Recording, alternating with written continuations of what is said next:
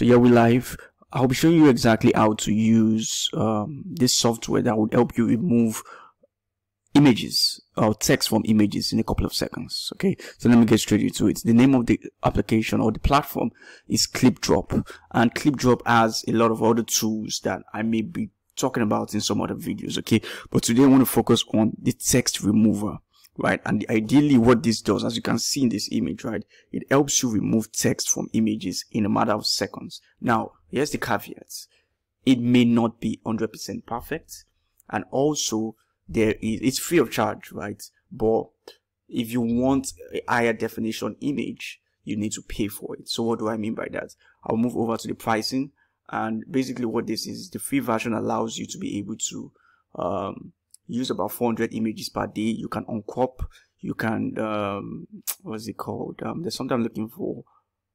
Somewhere around yeah exactly. So you have about 1024 times 1024 so what this means is that if your image is yeah this is what i'm looking for. If your image is higher than 1024 it will reduce it to 1024 so that's the caveat for the free version. But if you um, subscribe to the full version then you can have the exact size of image that you want okay? So that's all for the caveat. Now let's get right straight into it.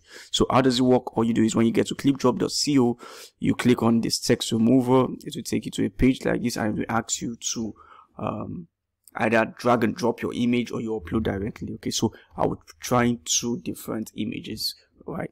Um, so let's let's check it out so the first one is, I'm going to be trying this one. It's pretty straightforward. Um, as you can see.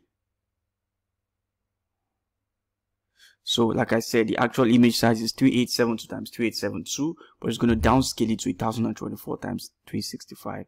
Okay, so let's just check it out. But if you want to unlock the HD mode, you know you have to subscribe. So I click on download and downscale and just a minute it's going to remove the text from the image. I'm just trying this live. As you can see it's done. So if you want to then edit it to remove more you could just go over to clean up imperfections. Right? It will kind of bring out like an eraser option for you. And yeah so you can increase the brush size if you want. High quality if you want it to be high quality but you have to sign up okay? So we don't want to do that now. So you move over here then let me try to clean this Burger King.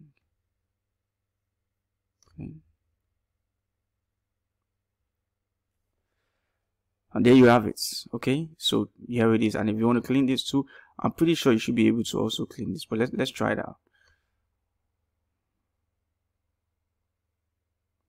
Okay, so ideally this is how it works. Okay, um, let me see if I can. Um, and if you're done with it, you click on download and there you have it to download your image right?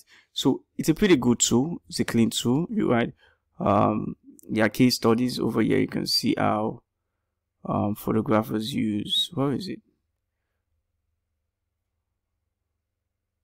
So yeah like you could and it's not just for text right? You could also remove objects people from your um this so here's a case study right? Here's another one and right click on clean um, um, apologies about that.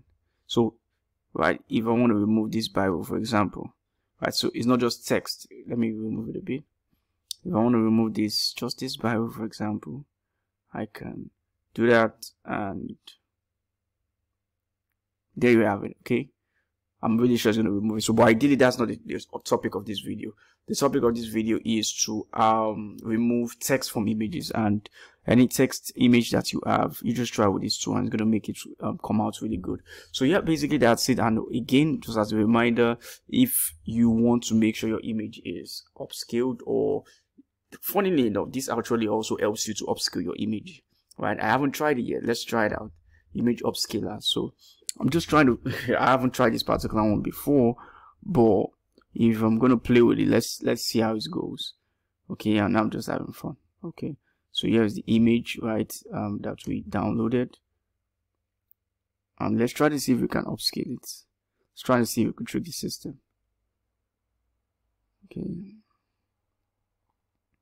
Let's just put it at 2x for now. Upscale. This will be funny if it works.